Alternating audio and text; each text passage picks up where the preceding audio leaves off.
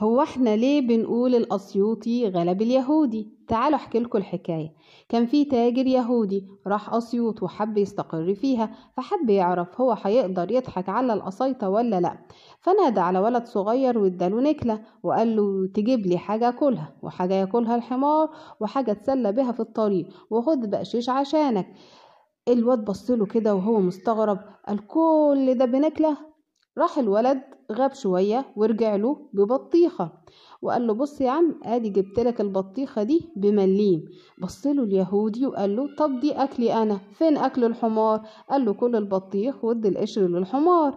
قال له طيب وهتسلى بإيه في الطريق؟ قال له تسلى ببذر البطيخ.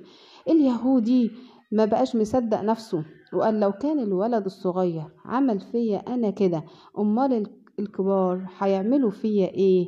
لا ده أنا ماليش عيش في البلد دي.